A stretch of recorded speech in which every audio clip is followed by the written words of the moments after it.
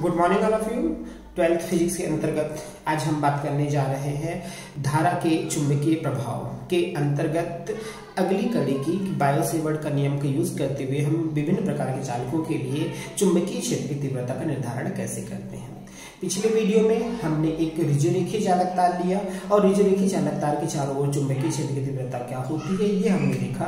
तो आज के वीडियो में हम देखने जा रहे हैं कि किसी वृत्ताकार कुंडली के केंद्र पर या वृत्ताकार लूप होता है, उसके केंद्र पर चुंबकीय क्षेत्र की तीव्रता क्या होगी? तो बात करते हैं वृत्तीय लूप की।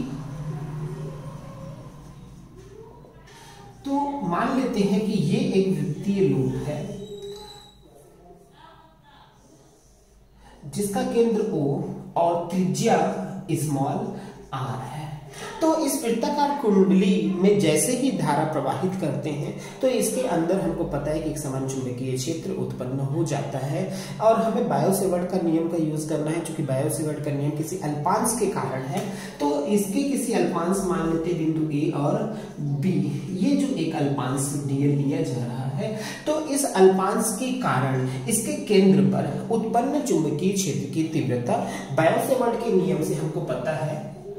बायो सेवर्ट के नियम से।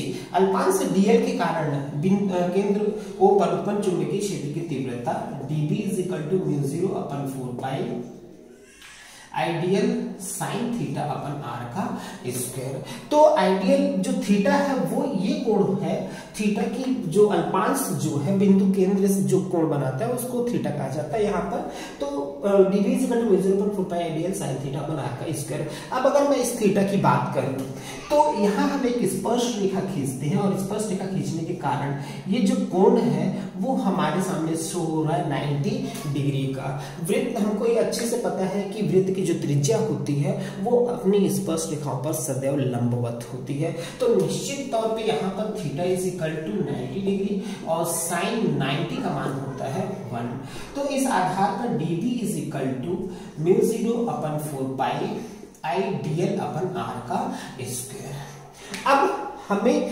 संपूर्ण वृत्ताकार लूप या वृत्ति कुंडली के लिए चुंबकीय क्षेत्र की तीव्रता का निर्धारण करना है। इसलिए हम क्या कर देंगे? समाकलन कर देंगे, जिससे संपूर्ण वृत्ति लूप की तीव्रता निकल जाएगी। तो संपूर्ण वृत्तीय लूप के लिए, संपूर्ण वृत्ति रूप के लिए b इज़ इक्वल टू हम समाकलन कर देंगे डी बी का।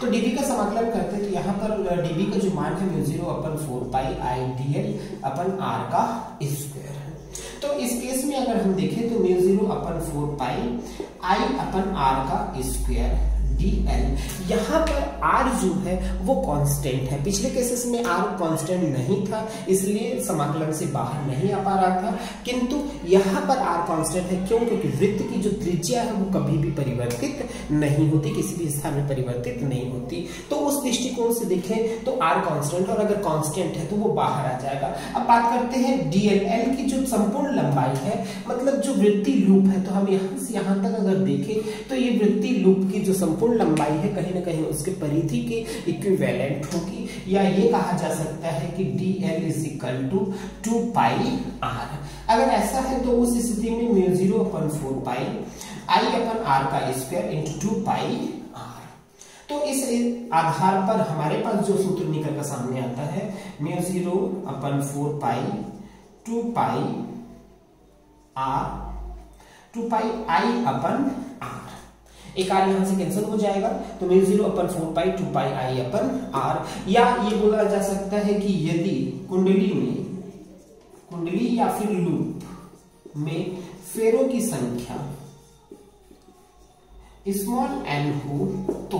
कहने का मतलब ये तो हम एक लूप को शो अप किए थे। इस प्रकार अगर इसमें बहुत सारे फेरे लपेटे जाएँ, इस प्रकार से यहाँ पर जो फेरों की संख्या शो की जा रही है, वो मान लेते हम स्मॉल एन है। अगर फेरों की संख्या स्मॉल एन है तो एक लूप के कारण इतना इफ़ेक्ट पड़ रहा है तो एन लूप के कारण निश्चित तौर पर बी बराबर हो जाएगा mu zero upon four pi two pi n I upon r या इसको और कैंसिल करके हम लिख सकते हैं mu zero n I upon two r तो ये तीव्रता हो जाएगी वृत्ति लूप के अंदर उत्पन्न चुंबकीय क्षेत्र की तीव्रता का।